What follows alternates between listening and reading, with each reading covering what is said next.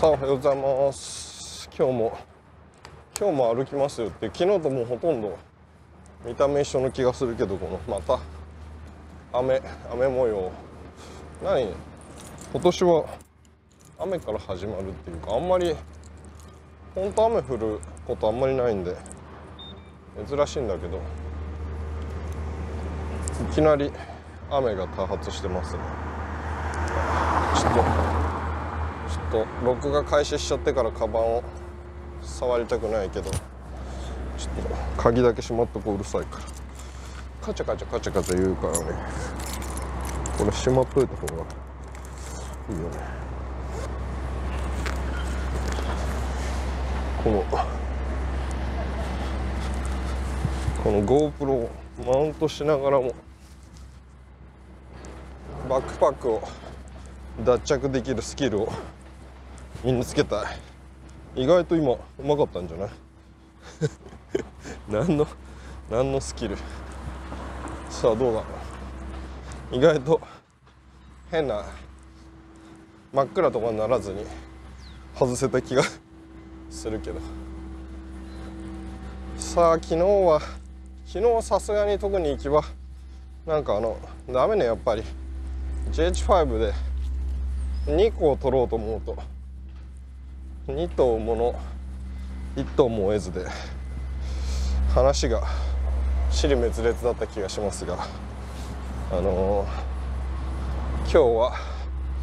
集中しますよドリ散歩なんかすげえ地響きが。なんか昨日夜中に地震があって軽い地震があったんだけどそんなねもうほんと多分日本だったら話題にもなんないぐらいの地震だったんだけどもうこっち地震ほとんどないからいろいろもうこの建物もねほとんど地震がない前提で 作ってるみたいな。まあ今時の最新のやつは違うと思うけどもう昔のやつとかは本当にあの地震来たらあの絵に描いたようにぺちゃんこになっちゃうみたいな感じだったみたいなんですけどわすごいなこのエレベーターみたいな。なんかそんでもう本当に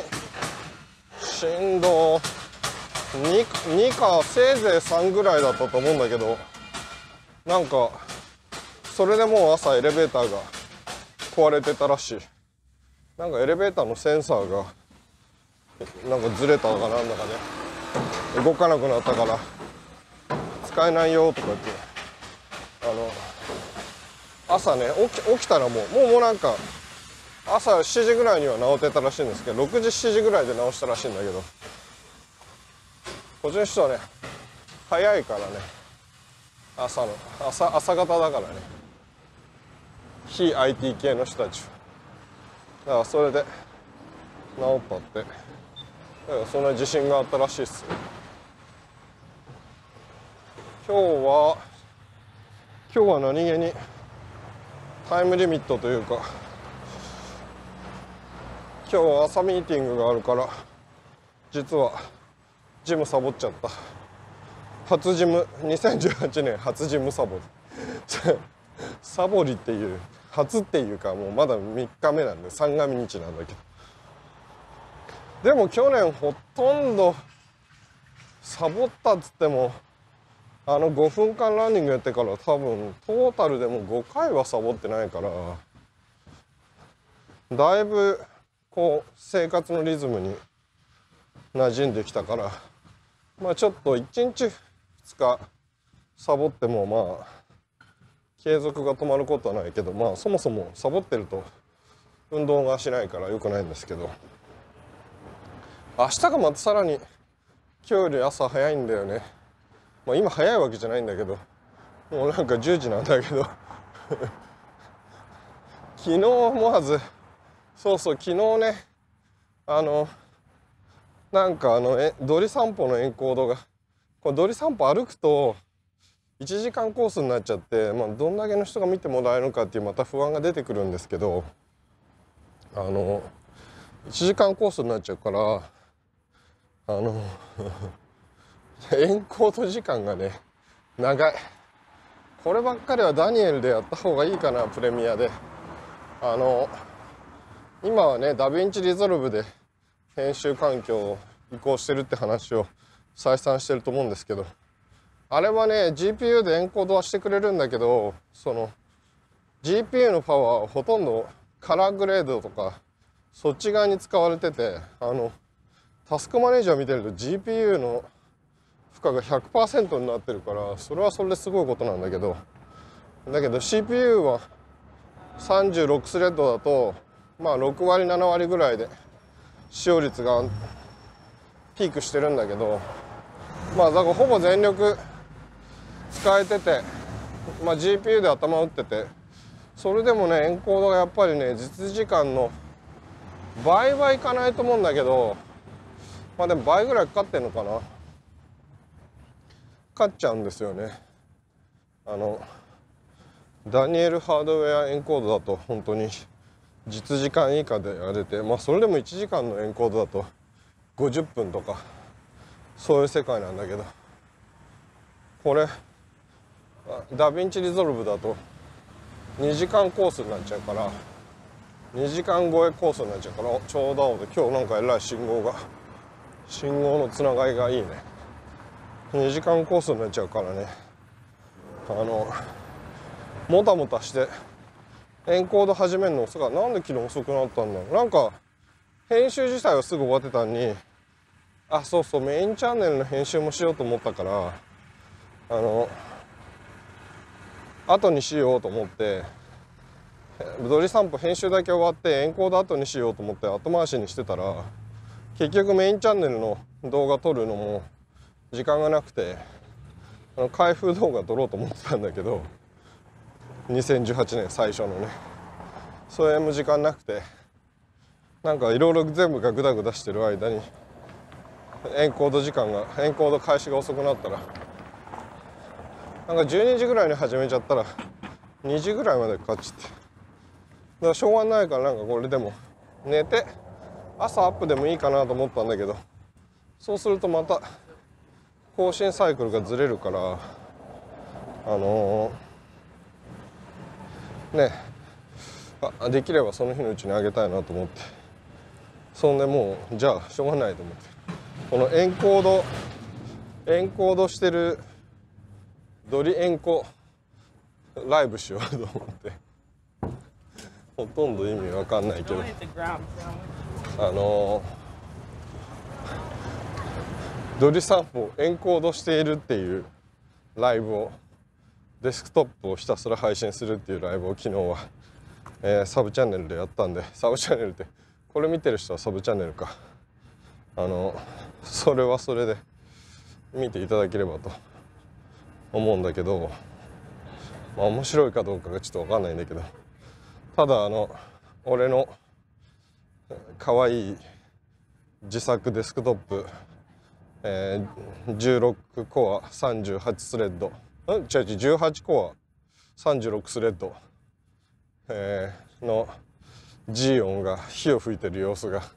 ただただ分かるっていう。半分にタスクマネージャーで半分にあのチャットウィンドウを開いてただその情景をライブストリーミングするっていうシュールすぎる映像だったんだけど。いや本当はねあのキャラクターアニメーターとアドビのキャラクターアニメーターとさらにそれを使って、えー、解説動画。あのダヴィンチリゾルブなりプレミアなりいいんですけどデスクトップの解説動画をね撮りたいなと思って。でそれ用の練習をねちょっとしてたんですよね。どういうふうにいけるかなと思って。だからそれのまあ実験をしてたんだけどただやっぱり円弧中がねそうそうそんであのこれもまあなんか最近散々どうやってんだけどこの38スレッドの、えー、G4 マシンだと CPU 負荷がねまあ100%近いこうかなり高い90%とかの CPU 負荷でなんかタスクしててもまあ実際には90%ってその36スレッドの平均値で、え動いててまあいろんなコア2処理が分散されてるから結構ね普通にブラウザー裏でしてたりとかチャットしてたりとかなんか 普通の作業してる時にはほぼ気づかないんですよ。まあこれまあドヤポイントなんですけどあのあ何？そんな重い仕事してんの？みたいな感じであのまあ裏でやっといてみたいな。感じ。普段それでも多分普通のデスクトップ以上には快適になんか通常の処理ができててあのすごいねあれはなんかこう心地いいんだけどそのダニエダニエルじゃないダヴィンチリゾルブでエンコード中はあれ多分 CPU も GPU も限界いってるからさすがにねあとディスクの IO も結構使うからさすがにね重いんですよ。あの普通にブラウジングとか Discord のチャットのスクロールが如実に重くなるからなんかあれ？スクロールが遅いみたいな。ホイールの追従が悪いみたいな。状況になって非常にねあの快適度が下がるんでそれもあって昨日ちょっとエンコードをね後回しにしてたんだけどやっぱああなるとドリ散歩専用エンコードマシンが必要になってくるなと思って。あれかな本気で。本気でドリ散歩。でドリ散歩の処理する。あれを変えようかな。PC をね。ちょっと分散しないと。メインチャンネルと。同時でやりきれないな。あれかエイリアゲーミング MSI のゲーミングラップトップにあっちでやるか。あそれいいかもしんないな。プロジェクトだけ共有してあっちで取り込んであそうしよう。一人納得するみたいな。ドリ散歩を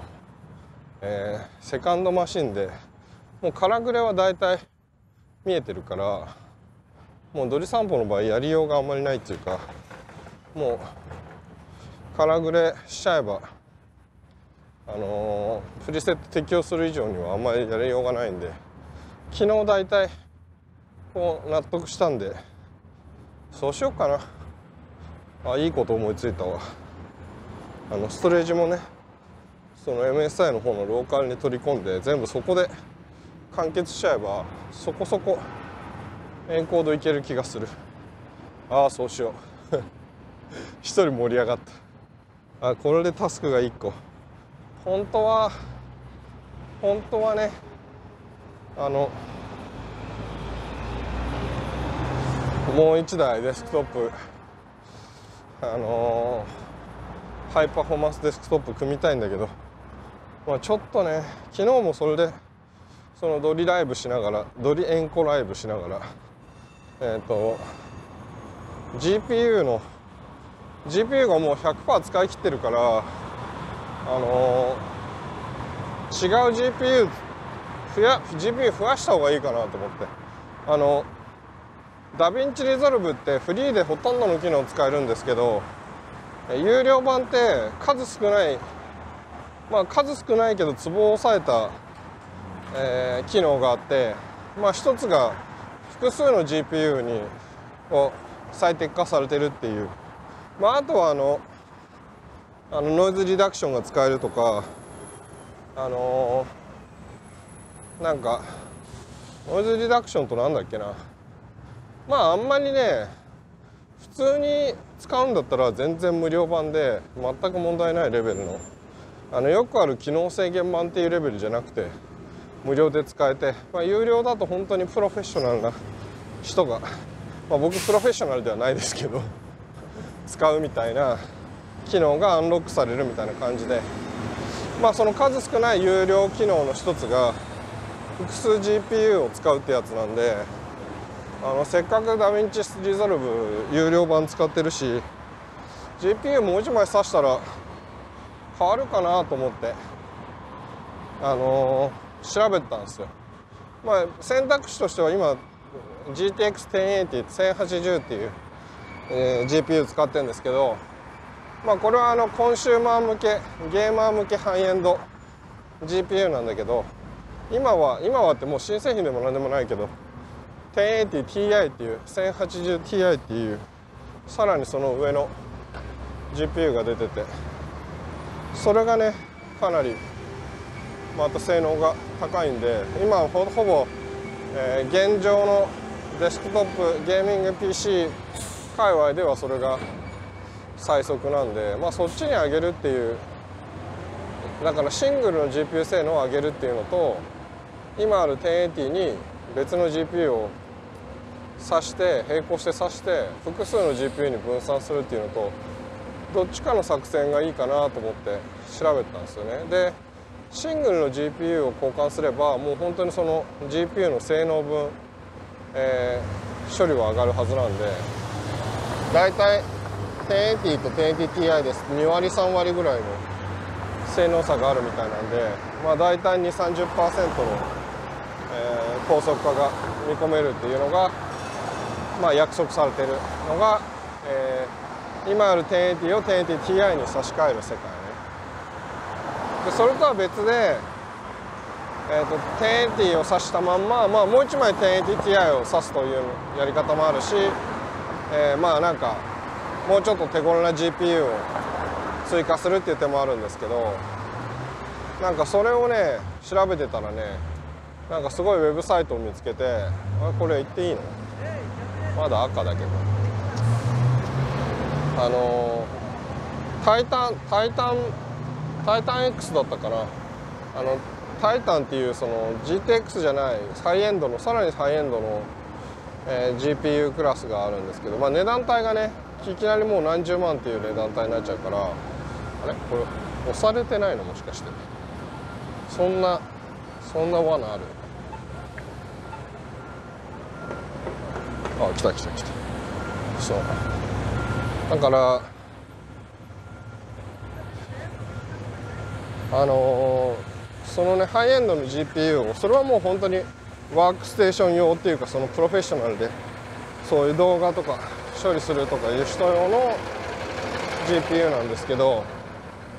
それを1枚から4枚まで1234って差し差し差しましてみて DaVinci Resolve の性能がどのくらい変わるかっていうベンチマークを取ってるサイト見つけたら 衝撃的すぎる結果が出ててあのなんなんか5種類だか10種類ぐらいのテストしてるんだけど1項目を除いて基本的には全く変わらないか複数 GPU 挿した方が遅いっていう衝撃の結果ですよ。が出ててなんじゃこりゃーと思って買わないでよかったって思ったんだけどまさかそんなことがありえるなんて衝撃的だった。まあその2枚刺したら2倍になるとは到底到底思ってなかったけど2割ずつぐらいこう性能上がるのかと思ったら結構ね4%とか2%とかそういうレベルで性能が下がってるっていう。あれは衝撃的だったな。あのサイトがね DaVinci Resolveスタジオ使ってるというのはただ一言も書いてなくて DaVinci Resolve の性能テストって言ってるからあれ DaVinci Resolve はスタジオじゃないと。マルチ GPU 使えないんで。あれこれなんか実は壮大なやっちゃったやっちゃった実験で、えー、複数 GPU 使えないサイあのアプリで複数、G、GPU 実験しちゃってすごい痛いやつかなって一瞬思ったんだけどなんかその後あのライブしライブを それ YouTube ライブしながらそれ調べてたんですけどあの見てたリスナーさんのコメントで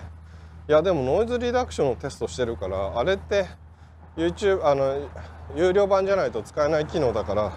ちゃんと有料版使ってるんじゃないですかって言われておお確かにと思ってそうだったと思って。ただどこにも検索してもページ内検索してもどこにも DaVinci Resolve Studio を使ってるとは書いてないんだけどでも一応ノイズノイズリダクションのテストはしてるからでもあれあれだよな。テストできるんですよね複数 GPU で。あ違う違うあの無料版でもノイズリダクションテスト自体はあのウォーターマークが入るだけで機能自体は使えるんだよね。俺それいやあれやっちゃってんじゃないのやっぱり。ちょっとにわかに信じられない値だったんだけどなあでもただそのノイズリダクションだけは2割ぐらいパフォーマンスが向上してたんでまあそこだけマルチ GPU の効果が見られるっていう結果が出てるからなまあな。なんかもやっとした記事だな。ちゃんとそこは明言してほしかったんだけどね。うん。まあでもまあでも相当思った以上に効果は見られない気がするんでちょっと見送り系見送り系かなと思ってますねしょうがないからあのまあ 1080Ti に変えたいんだけどやばいやばいバカになっちゃう。TI に変えたいんだけどあねそれはそれでねもうもう今年は1080の続編が、まあ、2000, 2000番台なのかどうかのネーミングは分かんないけど。2080だか分かんないけど。まあどう考えてもあの次の世代の GPUNVIDIA も出してくるだろうから。そう考えるとなかなかおいそれとねこのタイミングで1080まだ言っても1000ドル近くするから手を出せないなと思って。まあ1080買ってえっ、ー、と1個ずつこう GPU を横流ししてって、えー、なんかあの今のレーザーレーザーステルブレードステルスとかに今ある1080を挿してとかそういうお下がりお下がりモードで使うっていうのもありなんだけどああれかな？1080買ってエイリアンウェアに外付け GPU ボックスつけてあ1080をそこに流用すればこれがまた2代目のブルーボトルめっちゃ混んでる。あそれまた2代目の動画編集マシンがあっさりそこでできるじゃん。あやべ気づいちゃった。それだ。それやろ。どっかでそれやろ。うん。あー気づいちゃったな。あの外付け GPU をあっちに持ってっか。あそれいいな。やっぱこのドリ散歩いいね。一人ブレストみたいな。一人でブレインストーミングしてる状態で。ブツブツ言いながらなんか考え事を言ってるといろいろ新たな発想が生まれてくる。そうか。ついにエリアウェアの GPU ボックス発動するか。あ来たなこれ。これで1080させば結構動画編集的にはいけてる。状況来るかもしれないな。よしちょっと。それ試そう。GPU をやっぱり結局もう1台追加しないといけない世界線が見えてくるか。どの GPU をやっぱり 1080Ti を買う？ちょっと悩ましいね。ああもうここからうるさいからじゃあちょっと前半の部はそんなところで切り上げます。失礼します。そう雨大丈夫？お微妙に。微妙に微妙だ。微妙にどっちから帰ろうかな。こっちから帰った方が早いかな。さ。あ雨はかなり降った後ですね。もう降らないのかな。今日もブーステッドボードで来ないでよかったな。危ない。結構結構路面が反射しててやばかった。明日こそでも今日はあれだよね。結果的に走れなかったからさ30分30分片道30分の往復1時間弱歩いてるからそれはそれでいいエクササイズになってる？明日も歩くかじゃあ。えっ、とさあで何の話をしましょうか？なんかひたすらカラーコレクションのカラグレトークしかしてない気がするけどあのねもうほんと今日家帰ったら開封動画撮れるかな。昨日本当はねそのエンコード実況なんかするつもりはなくて開封動画を久々に富士の XT2 に富士の XT2 の F ログ撮影を今一度もう一回ねこの今の僕の環境で試したらさらにこう F ログの XT2 の性能を引き出せるかどうかが興味深いんで試したいんだけど今日いけるかな？今日も厳しい気がしてきたな。とりあえずは軽い開封動画だけでも撮りたい。あのー、段ボールがたまり始めてる。段ボールたまり始めてるって言っちゃっていいのかわかんないけど。あのー、やばいっすね。わすごいな。この明るさがどうやって撮れてんだろうか。いやでもあの朝思いついたけどちょっとドリ散歩を別 PC で分散して、えー、エンコードするっていうか編集するっていうのはちょっと実際やんないやりたいですね。それを環境構築するだけでそんなに時間使っちゃいそうだけど。それやっとくとメイン動画とドリ散歩と並行してやれるかあの DaVinci Resolve がプロジェクトをロー,、ね、ローカルネットワークで共有できるのはここで効いてくるな。あのデータはそれぞれのローカルに置いたとしてもプロジェクトのデータベースが共有できると1箇所でカラグレの調整したやつを反対側でシームレスに共有できるから。あのねデータベースのプロジェクトファイルがデータベースになってるのはまあいろいろメリットデメリットあるんだけどなんだかんだ安定してるうちはいいよな。やっぱりプロジェクトがどんどん肥大化してもパフォーマンスが落ちないっていうのはでかい。ただなんかうちの DaVinci Resolve 密かにちょっと不安定なんだけどね。なんかクラッシュが多いまだ。なんかあの結構みんな DaVinci Resolve ユーザーはまだ12から14に上げないで安定するのを待ってる人も結構いるけどやっぱりかなり機能が一気に上がったからまあプロフェッショナルの人たちはねあんま不安定で困ったなじゃ済まないから結構じっくり状況を待ってるのかもしれないけど。なんかね致命的ではないんだけどちょいちょいプロジェクトなんか開いたり閉じたりしてると一回クラッシュして次立ち上げると治るみたいなことがちょいちょいあるんだよね。あのちょっとちゃんとデバッグしてみようかな。レポートしないといつまでたっても治んない気がする。あれが安定すればすごい。あの編集中に落ちるとかいうことはないんだけど。なんか大きなプロジェクトのなんかペインとかいじった時に結構落ちる。ただあの DaVinci Resolve オートセーブ機能があって基本的にあのデータロスすることはほぼ今んとこないな。あのほとんどの処理なんかするたんびに全部こまめに書き出してくれてるんで。まあクラッシュして開くと直前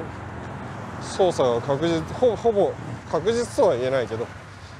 かなりの確率で直前の状態には戻れる。のは素晴らしい。オートセーブはすごいいいっすね。あのもちろんあの 10, 10分置きセーブとかもできるんだけどなんかオートセーブを有効にするっていうのは結構アドバンテージあるかもしれない。さあじゃあ今日はねていうか今日そうそう今急いで帰ってんだけど。今日ねついにあのリビルド 第2回ゲスト最近宮にゲスト出せ出せ出せ出せ言ってたからようやくあのあれですよ。でも2018年第1回目のゲストというこの光栄なタイミングでゲスト依頼が来たのであのー、張り切って。張り切ってさ話でもさ俺はもう自分でも自分でもよく分からなくなってるけどあのソフトウェアエンジニアポジションじゃなくてなんか多分あれだよね。ガジェッター散財屋さんポジションであのゲストされるてるよね。もうあのエンジニアトークは期待されてない気がするから。なんかガジェットトークかね。あのポッドキャストの編集機材トークはって言ったらそれはなしっていう話でまあそれ確かにね需要ないもんねその。配信する側のうちはネタだからね。あんまりあの興味ある人もいるとは思うんですけどあの大多数の人には、まあ、関係ないから、まあ、それはうちわでするとして何の話するか考えないと。なんか最初こっちの US 時間の土曜日の夜って言ってたんだけど急遽今日の夜になったからなんかさ自分のバックスペース FM いつも何の準備もなく話してるけどさすがにあのリビルドとなったらね 下手なこと言うと怒られそうですからね。あのリスナーさんあのー、適当なことを言えない緊張感があるんですけどもうしょうがないか。準備してる暇がないから。この今目の前のやつあれね。例のダーティーハリー・マクドナルド。どんどんどんどん様変わりしてついにもうここ足場組まれて完全になんだろうマンションできんのかな。マンションになっちゃいますね。もうマクドナルドの面影なくなっちゃった。どのくらいのただの住居なのかな。なんかここの隣のナーンズカレーとかこの先のさハッピー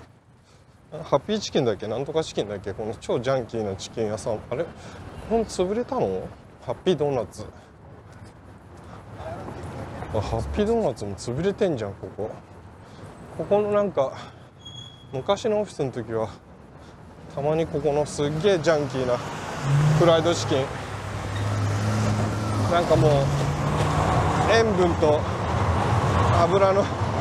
塊みたいなでもなんかうまいみたいな。フライドチキン買いに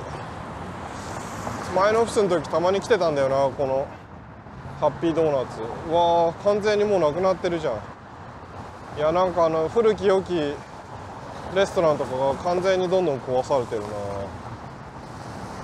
すごい勢いで急に街が。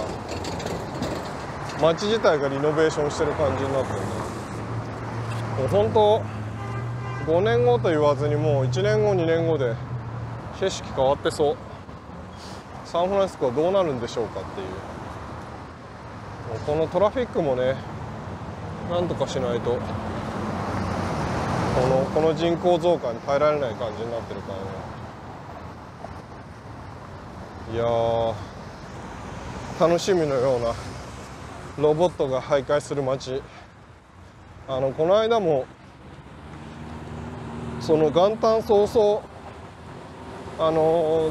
電車と路面で路面電車とバスであバスやトラックで事故ったっていう時の話したかと思うんですけど、まあ、僕ちょっとまあなんか、えー、と動画的には撮らなかったんですけどあんまなんかネタにするのも不謹慎かなと思って。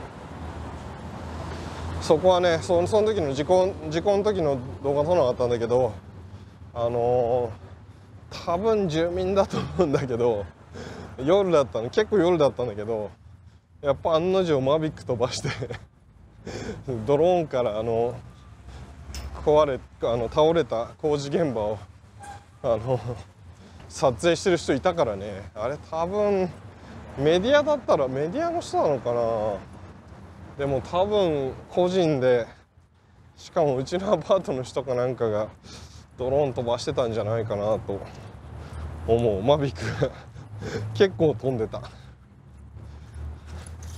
あの実際結構家の前のあの公園でこの間も白いマビックを飛ばしてる若いカップルとかいたからあの多分それなりに持ってる人がいるんじゃないかと思うんですけど。ここも着々とこのあなんかまたここら辺に来たら雨降り始めるっていう。なんだろう。雨がもうちょっと待っててくれれば回避できるんだけど。いやあのそう昨日のその、えー、エンコードライブしてる時になんか多分 DaVinci Resolve 使いこなされてる本当にプロの方があの YouTube ライブでコメントアドバイスをくれててそれがすごい参考になったんですけどあの特に Blackmagic が出してるあのビデオモニター？ビデオリンク？違う。なんだっけな。ディープリンク？とかいう、えー、まあ、PCI エクスプレスの拡張カードの製品なんですけどいろいろ種類があってなんか細かく機能ごとに 8K 対応 4K 対応 2K 対応キャプチャープレイバックみたいないろいろあるんだけどなんかあれって多分プレイバックキャプチャーアクセラレーターみたいなカードであでもあれキャプチャーも買えばよかったかな。そしたらゲームキャプチャーとかそっちでやれたな。失敗したかな。なんかそのブラックマジックが出してるまあモニターキャプチャーカード。あの使うと再生がすごい速くなるよっていうアドバイスいただいたんで早速あのミニモニターっていう出力する側だけ？僕はあんまあのダヴィンチとかで録画自体はしてないからあれってもうなんかブロードキャストする本格スタジオ用にキャプチャーする人はあの入力してるんだろうけど僕の場合はねそこまであの基本は GH5 とかで撮った映像を編集してるだけなんでモニターだけにしたんだけどあれキャプチャーカード使えばよかったな。ちょっと今からあれしようかな。ちょっともう一回調べたくなってきたな。キャプチャープレイバックにすればよかった。やべえまたまたなんか昨日と同じトラウマ。雨が急に。これ時間帯？なんか日が落ちると雨が降るっていう。昨日と違ってあのあなんかこう防水コートされたジャケット着てないから濡れると辛いんですけど。普通のパーカーなんですけど。勘弁してほしいな。昨日はでもこの辺でもうなんか水滴がついて映像がすごいことになったけど。あそうそうそう。あのー、その今内蔵マイクにしたりとかやっぱりちょっと音声加工に関してもちょっと講座をした方がいいのかな。あの、最近ねあの音加工をねあのほとんど最小限にしてんですけどあんまり余分な音の加工をするともうノイズキャンセルとかもやりすぎるとだんだん耳がバカになってきてなんかすげえノイズ消えてるように見えるけど実はもうなんか元の音が完全に壊れててなんかホワイトノイズは確かにないかもしれないけどメインの音声がロボット声みたいなワンワンになっちゃうっていうなんかこうやりすぎ現象が起きるんだけどまあ、最近比較的そこもこなれてきて、えー、軽めにかけるけど、まあ、ちゃんとノイズキャンセルもまあ結構降ってきてるなまた。昨日と全く同じ状況だな。あの聞かせるっていうのが少しスキルが上達したような気がしててこの内蔵マイクで意外と音が聞けたっていうのも一つの理由はそこにあったんじゃないかなと思ってるんですけどあのー、それをね説明した方がいいかな。でなんか気なこと思ったんですよ。この鳥散歩も